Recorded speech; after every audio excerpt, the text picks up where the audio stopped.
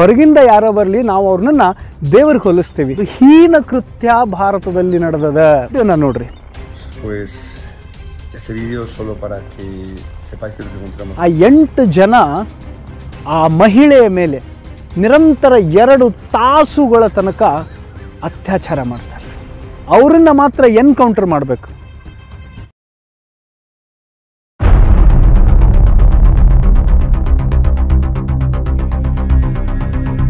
ಸ್ನೇಹಿತರೆ, ನಮಸ್ಕಾರ. ಭಾರತ ಅಂತಂದರೆ ಇಡೀ ಜಗತ್ತಿನಲ್ಲಿ ಯಾಕೆ ಅಷ್ಟು ಹೆಸರುವಾಸಿಯಾಗೈತಿ ಅಂತಂದ್ರೆ ಇದೊಂದು ಶಾಂತಿ ಪ್ರಿಯ ರಾಷ್ಟ್ರ ಅಂತಂತ ಹೇಳಿ ಭಾಳಷ್ಟು ಇದು ಹೆಸರನ್ನು ಪಡ್ಕೊಂಡದ ಜೊತೆಗೆ ಭಾರತೀಯರು ವಿದೇಶಿಗರನ್ನು ಏನಂತ ನೋಡ್ತಾರೆ ರೀ ಅತಿಥಿ ದೇವೋ ಭವ, ಪ್ರಾಚೀನ ಕಾಲದಿಂದನೂ ಕೂಡ ಏನಪ್ಪ ಅಂತಂದ್ರೆ ನಮ್ಮಲ್ಲೇ ಅದೊಂದು ಸಂಪ್ರದಾಯ. ಹೊರಗಿಂದ ಯಾರೋ ಬರಲಿ, ನಾವು ಅವ್ರನ್ನ ದೇವ್ರಿಗೆ ಹೋಲಿಸ್ತೀವಿ. ಅದಕ್ಕೆ ನಾವು ಅತಿಥಿ ದೇವೋ ಭವ ಅಂತಂತ ಹೇಳಿ ಕರಿತೀವಿ. ಆದರೆ ಸುಮಾರು ಒಂದು ಎಂಟು ದಿನದ ಹಿಂದೆ ಒಂದು ಹೀನ ಕೃತ್ಯ ಭಾರತದಲ್ಲಿ ನಡೆದದ. ಆ ಒಂದು ಘಟನೆಯಿಂದ ಅಥವಾ ಆ ಒಂದು ಕೃತ್ಯದಿಂದ ಇಡೀ ಭಾರತವೇ ತಲೆ ತಗ್ಗಿಸುವಂಥ ಒಂದು ಕೆಲಸ ಆಗೈತಿ. ಇದನ್ನು ಹೇಳೋಕ್ಕೆ ಬಹಳ ಅಂತಂತಂದ್ರೆ ಬಹಳ ನೋವಾಗ್ತದೆ ಸ್ನೇಹಿತರೆ. ಸ್ನೇಹಿತರೆ, ಮತ್ತೊಮ್ಮೆ ಎಲ್ರಿಗೂ ನಮ್ಮ ಇತಿಹಾಸ ಯೂಟ್ಯೂಬ್ ಚಾನಲ್ಗೆ ಸ್ವಾಗತ. ಇವತ್ತು ನಾನು ಈ ವಿಡಿಯೋನ ಮಾಡಲಿಕ್ಕೆ ಕಾರಣ ಏನಪ್ಪ ಅಂತಂದರೆ ಮಾರ್ಚ್ ಒಂದು. ಆ ದಿನಾಂಕದಂದು ಒಂದು ಹೀನ ಕೃತ್ಯ ನಡೆದದ. ಆ ಕೃತ್ಯ ಏನು? ಆ ಕೃತ್ಯ ಹೇಗೆ ನಡೀತು? ಆ ಕೃತ್ಯದಲ್ಲಿರೋರು ಯಾರು? ಅನ್ನೋದನ್ನು ನಿಮಗೆ ನಿಧಾನವಾಗಿ ಹೇಳ್ತೀನಿ. ಅದಕ್ಕಿಂತ ಮೊದಲು ಆ ಕೃತ್ಯ ಹೇಗೆ ನಡೀತಿ ಅನ್ನೋದನ್ನು ಒಂದು ವಿಡಿಯೋ ಮುಖಾಂತರ ನಾನು ನಿಮಗೆ ತೋರಿಸ್ತೀನಿ. ಆ ವಿಡಿಯೋನ ನೋಡ್ರಿ. Pues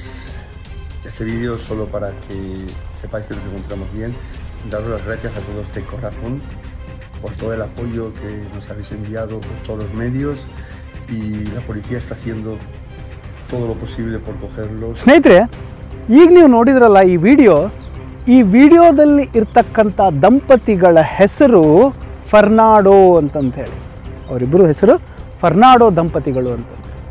ಮೂಲತಃ ಅವರು ಸ್ಪ್ಯಾನಿಷ್ನಿಂದ ಭಾರತಕ್ಕೆ ಬರ್ತಾರೆ. ಅಂದ್ರೆ ಪ್ರವಾಸಿಗರ್ರಿ ಅವರು. ಸೊ ಭಾರತಕ್ಕೆ ಬರುವುದಕ್ಕಿಂತ ಮೊದಲು ಸುಮಾರು ಅರವತ್ತೊಂದು ರಾಷ್ಟ್ರಗಳನ್ನು ಮುಗಿಸಿ, ಅಲ್ಲಿ ತಮ್ಮ ಪ್ರವಾಸವನ್ನು ಮುಗಿಸಿ ಭಾರತಕ್ಕೆ ಬರ್ತಾರೆ. ಭಾರತಕ್ಕೆ ಬಂದ ಮೇಲೆ ಅವ್ರದ್ದು ನೆಕ್ಸ್ಟ್ ಪ್ಲ್ಯಾನ್ ಹೇಗಿತ್ತು ಅಂತಂದರೆ, ಭಾರತ ಮುಗಿಸ್ಕೊಂಡು ಪಾಕಿಸ್ತಾನ್, ಪಾಕಿಸ್ತಾನದಿಂದ ಬಾಂಗ್ಲಾದೇಶ್, ಬಾಂಗ್ಲಾದೇಶದಿಂದ ಮತ್ತೆ ಭಾರತ, ಭಾರತದಿಂದ ಮತ್ತೆ ನೇಪಾಳ್ಗೆ ಹೋಗಬೇಕು ಅನ್ನೋದು ಅವರು ಒಂದು ಪ್ಲ್ಯಾನ್ ಇಟ್ಕೊಂಡು ಭಾರತಕ್ಕೆ ಬರ್ತಾರೆ. ಸ್ನೇಹಿತರೆ ಅವರು ಭಾರತದಲ್ಲಿ ಬಂದಿದ್ದು ಇವತ್ತಿನ ಜಾರ್ಖಂಡ್ ರಾಜ್ಯದ ದುಮ್ಮೆ ಡಿಸ್ಟಿಕ್ ಒಳಗೆ ಕೂರ್ಮಾಕುಂಡ್ ಅನ್ನುವಂಥ ಒಂದು ಪ್ರದೇಶ ರೀ ಅದು. ಆ ಪ್ರದೇಶಕ್ಕೆ ಬರ್ತಾರೆ, ಅಲ್ಲಿ ರಾತ್ರಿ ಆಗಿರ್ತದೆ ರೀ. ಸುಮಾರು ಇದಕ್ಕಿಂತ ಮೊದಲು ಅವರು ಒಂದು ಲಕ್ಷದ ಹದಿಮೂರು ಸಾವಿರ ಕಿಲೋಮೀಟ್ರನ್ನು ಬೈಕ್ ಮೇಲೇ ಟ್ರಾವೆಲಿಂಗ್ ಮಾಡ್ಯಾರ ರೀ ಸೊ ತಕ್ಕ ಮಟ್ಟಿಗೆ ಇನ್ಸ್ಟಾಗ್ರಾಮ್ ಒಳಗೆ ಹಿಂಬಾಲಕರನ್ನು ಹೊಂದಿದ್ದಾರೆ. ಕೊನೆಗೆ ಭಾರತಕ್ಕೆ ಬಂದು ಏನಪ್ಪ ಅಂತಂದ್ರೆ ಇಲ್ಲಿನ ಒಂದು ಪ್ರವಾಸಿ ತಾಣಗಳನ್ನು ನೋಡ್ಕೊಂಡು ಹೋಗೋಣ ಅಂತಂತ ಹೇಳಿ ಭಾರತಕ್ಕೆ ಬರ್ತಾರೆ ರೀ ಬಂದು ಹೇಳಿದ್ನಲ್ಲ ಈಗ, ಜಾರ್ಖಂಡಿನ ಡುಮ್ಮೆ ಅನ್ನುವಂಥ ಒಂದು ಡಿಸ್ಟಿಕ್ಕು ಅಲ್ಲಿ ಕುರ್ಮಾಕುಂಡ್ ಅನ್ನುವಂಥ ಒಂದು ಪ್ರದೇಶ ಹೈವೇದಿಂದ ಒಂದು ಎರಡು ಕಿಲೋಮೀಟ್ರ್ ಒಂದು ನಿರ್ಜನ ಪ್ರದೇಶ ರೀ ಅದು. ಅಲ್ಲಿ ಹೋಗಿ ಅವರು ಟೆಂಟ್ ಹಾಕ್ಕೊಂಡು ಇವತ್ತೊಂದು ರಾತ್ರಿ ಇಲ್ಲಿ ಕಳೆದು ಮರನೇ ದಿನ ಏನಪ್ಪ ಅಂತಂದ್ರೆ ನಮ್ಮ ಪ್ರಯಾಣವನ್ನು ಮುಂದುವರಿಸೋಣ ಅಂತಂತೇಳಿ ಅವ್ರ ಪಾಪ ಅಲ್ಲಿ ಹಾಲ್ಟ್ ಮಾಡ್ತಾರೆ. ಆಗ ನಡೆದಿದ್ದು ನೋಡ್ರಿ ದುರಂತ. ಇಬ್ಬರು ಅಲ್ಲಿ ಏಕಾಂತವಾಗಿದ್ದಂಥ ಸಮಯದೊಳಗೆ ಅಚಾನಕ್ಕಾಗಿ ಒಂದು ಎಂಟು ಜನ ಎಂಟು ಜನ ಅವರ ಮೇಲೆ ದಾಳಿ ಮಾಡ್ತಾರೆ. ಇದನ್ನು ಹೇಳೋಕ್ಕೆ ಅಸಹ್ಯ ಅನ್ನಿಸ್ತದೆ ರೀ. ಆದರೂ ಕೂಡ ಇವತ್ತೇನಾಗೈತಪ್ಪ ಅಂತಂದ್ರೆ, ವಿದೇಶಿ ಮಾಧ್ಯಮದೊಳಗೆ ಭಾರತವನ್ನು ಹೇಗೆ ಬಿಂಬಿಸ್ತಾ ಇದ್ದಾರೆ ಅಂತಂದ್ರೆ ಭಾರತ ಹೆಣ್ಣು ಮಕ್ಕಳಿಗೆ ಸೇಫ್ ಅಲ್ವಾ? ವಿದೇಶಿಯರಿಗೆ ಸೇಫ್ ಅಲ್ವಾ? ಅನ್ನೋವಂಥ ರೀತಿಯಲ್ಲಿ ವಿದೇಶಿ ಮಾಧ್ಯಮಗಳು ಬಿಂಬಿಸ್ತಾ ಇದ್ದಾವೆ ಅದನ್ನು ಕೇಳಕ್ಕೆ ಭಾಳ ನೋವಾಗ್ತಾ ಇದೆ. ಈ ಕೃತ್ಯ ಹೇಗೆ ನಡೀತು ಅಂತಂದ್ರೆ ಅವರೊಬ್ಬರು ಅಲ್ಲಿ ಮಲಗಿದ್ದಾಗ ಏಕಾಏಕಿ ಎಂಟು ಜನ ಅವ್ರ ಮೇಲೆ ಸಡನ್ನಾಗಿ ಅಟ್ಯಾಕ್ ಮಾಡ್ತಾರೆ. ಅಟ್ಯಾಕ್ ಮಾಡಿ ಪಾಪ ಆ ಗಂಡನನ್ನು ಚಿತ್ರಹಿಂಸೆ ಮಾಡಿ ಹೊಡೆದು ಬಡಿದು ಅವನನ್ನು ಕೈ ಕಟ್ಟಿ ಕುಂದಿರಿಸ್ತಾರೆ. ತದನಂತರ ಆಗಿದ್ದು ನೋಡ್ರಿ, ಹೀನ ಕೃತ್ಯ, ಆ ಎಂಟು ಜನ ಆ ಮಹಿಳೆಯ ಮೇಲೆ ನಿರಂತರ ಎರಡು ತಾಸುಗಳ ತನಕ ಅತ್ಯಾಚಾರ ಮಾಡ್ತಾರೆ.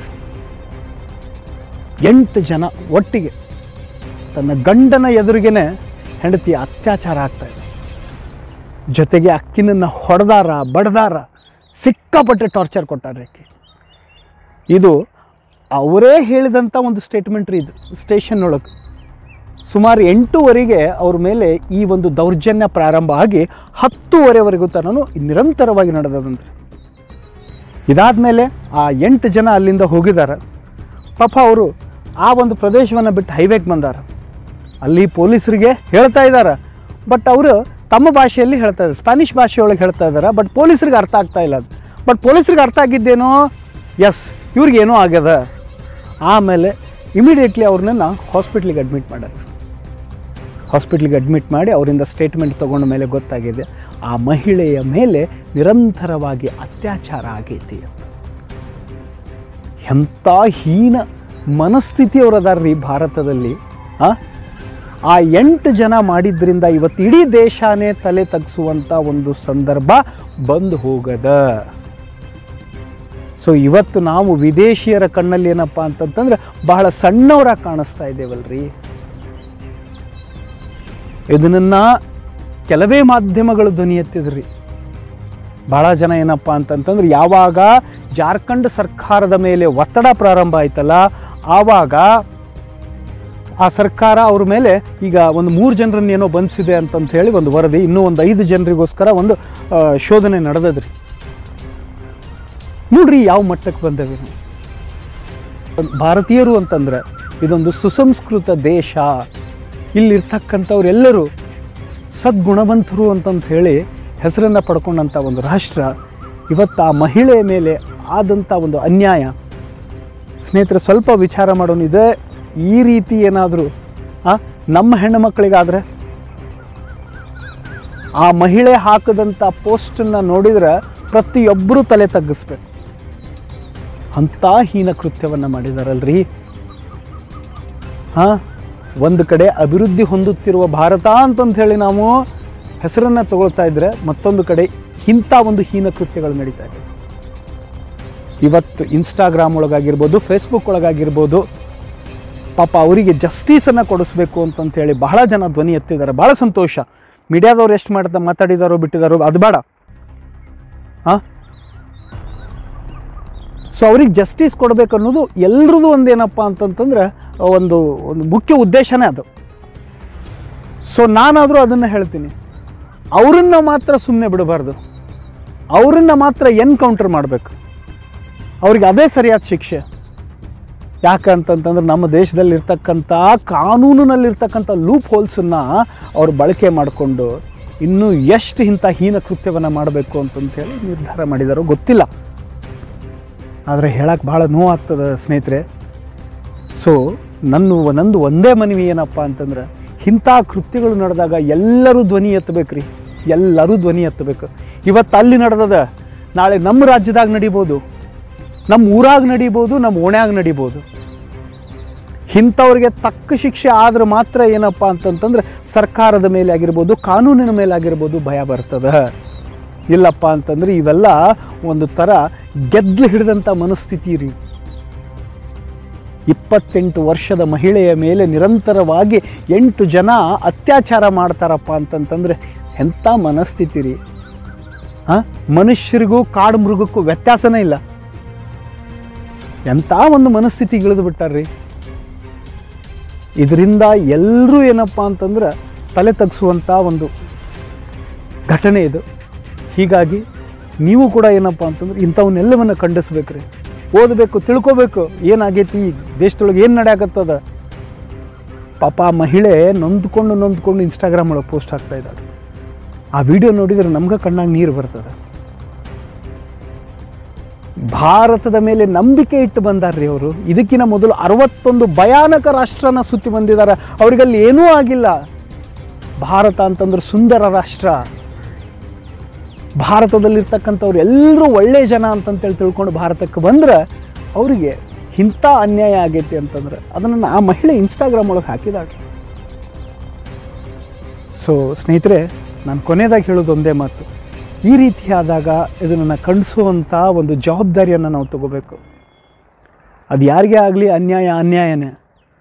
ಅದನ್ನು ಪ್ರತಿಭಟಿಸಿ ನಿಲ್ಲೇಬೇಕು. ಸೊ ಈ ಒಂದು ವಿಡಿಯೋ ನಿಮ್ಗೆ ಇಷ್ಟ ಆಗಿತ್ತು ಅಂತಂದ್ರೆ ಹೆಚ್ಚು ಹೆಚ್ಚು ಈ ವಿಡಿಯೋನ ಶೇರ್ ಮಾಡಿರಿ. ಯಾಕಂದ್ರೆ ಬಹಳ ಅವಶ್ಯಕತೆ ಇದೆ. ಲೈಕ್ ಮಾಡಿರಿ. ನಮ್ಮ ಇತಿಹಾಸ ಯೂಟ್ಯೂಬ್ ಚಾನಲನ್ನು ಸಬ್ಸ್ಕ್ರೈಬ್ ಮಾಡಿರಿ ಅಂತಂತ ಹೇಳ್ತಾ ಈ ಒಂದು ವಿಡಿಯೋನ ಮುಗಿಸ್ತಾ ಇದ್ದೀನಿ. ನಮಸ್ಕಾರ.